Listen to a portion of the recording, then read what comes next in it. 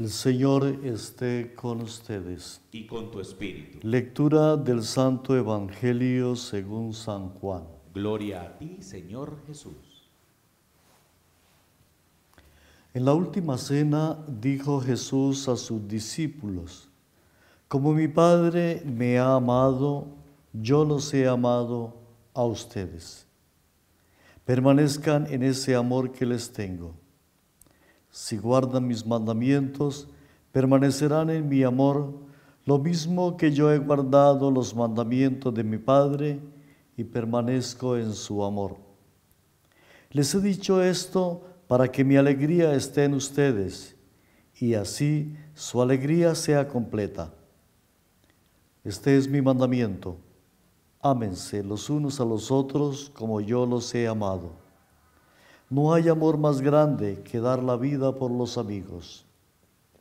Ustedes son mis amigos si hacen lo que yo les mando. Ya no los llamo siervos, porque el siervo no sabe lo que hace el amo. Los llamo amigos, porque les he dado a conocer todo lo que escuché a mi Padre. No me escogieron ustedes a mí, fui yo quien los escogí y los destiné para que vayan y den fruto y un fruto permanente. Así, todo lo que pidan al Padre en mi nombre, Él se lo concederá. Esto es lo que les mando. Ámense los unos a los otros. Palabra del Señor. Gloria a ti, Señor Jesús.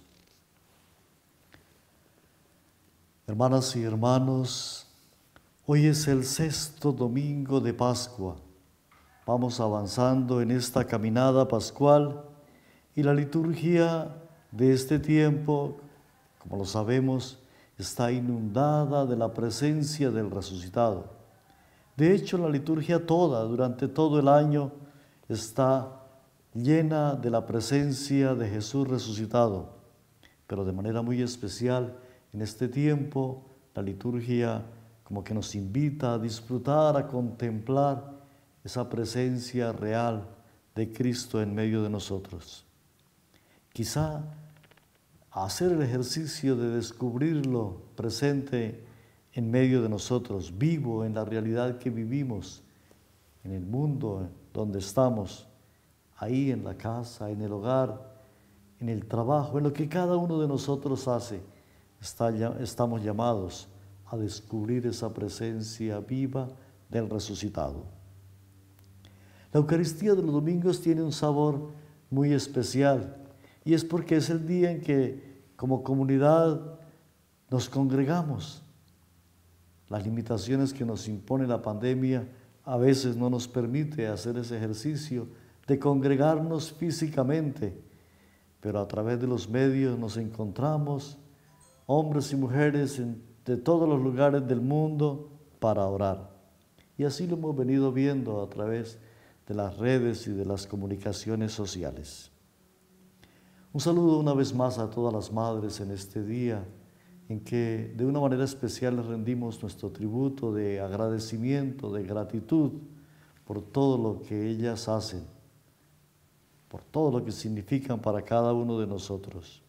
Nuestra oración, como ya lo hemos dicho, por todas ustedes, por todas las madres que nos escuchan y por todas aquellas que nos han pedido que oremos en esta celebración. Quiero que nos detengamos un momento a reflexionar y a orar esta palabra de Dios que hemos escuchado.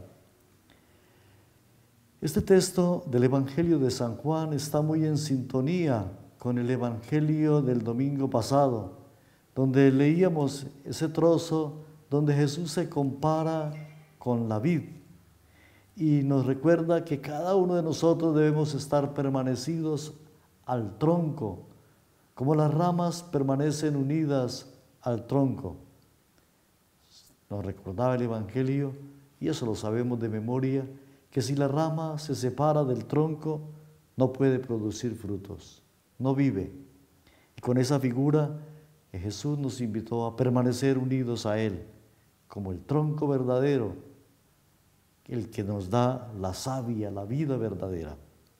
Y hoy como que nos ayuda a avanzar en esa reflexión que iniciamos el domingo pasado, recordándonos que el amor es la razón de ser de esa unidad, de esa unidad que debe haber entre cada uno de nosotros y Dios. Es el amor. Y el amor al ejemplo del Padre que nos ama, que nos envió a su Hijo para que tuviéramos vida y que nos amó hasta dar la vida por cada uno de nosotros. Y por eso hoy el Evangelio nos insiste con, cierta, con cierto énfasis en el amor. Ámense los unos a los otros. Este es mi mandamiento. No hay amor más grande que el que da la vida por los amigos. Y por eso el Evangelio nos repite, ámense los unos a los otros. Qué tarea la que tenemos nosotros los cristianos. Todos estamos llamados a amarnos, construir un mundo nuevo, fundamentado en el amor. Hoy que hay tantas situaciones de violencia, de guerra, de división, de odio, nosotros los cristianos llamados a comunicar amor, a transformar el mundo con la fuerza del amor.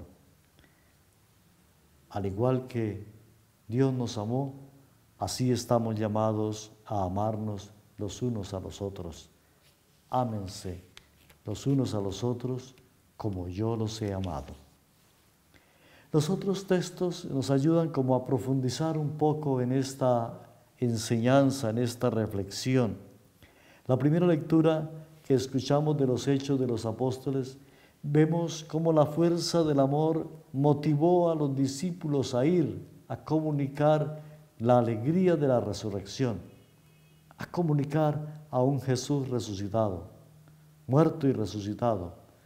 Y hoy vemos cómo la fuerza del Espíritu va motivando a estos discípulos y les, les va abriendo caminos para que continúen anunciando la buena noticia.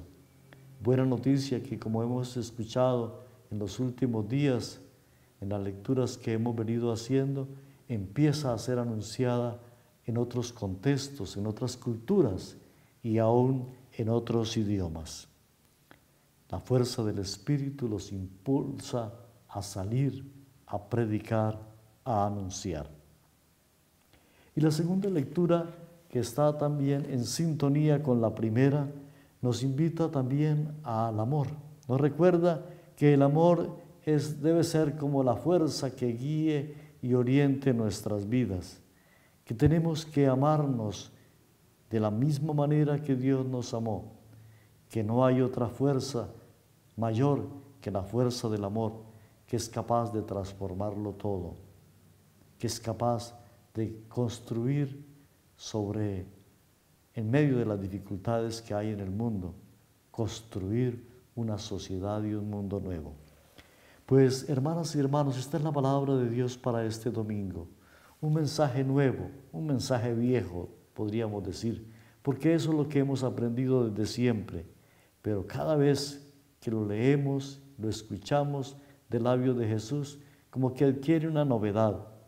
Y hoy aceptémoslo así, como ese mensaje nuevo, como esa invitación nueva a crecer en el amor, a amarnos los unos a los otros como el mismo Jesús nos ha amado.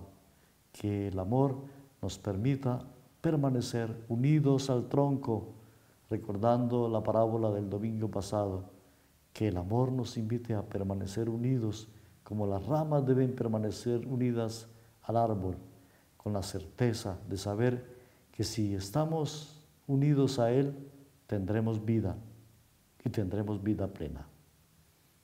Continuemos con la celebración. Las invito y los invito ahí en casa, profesemos ahora nuestra fe.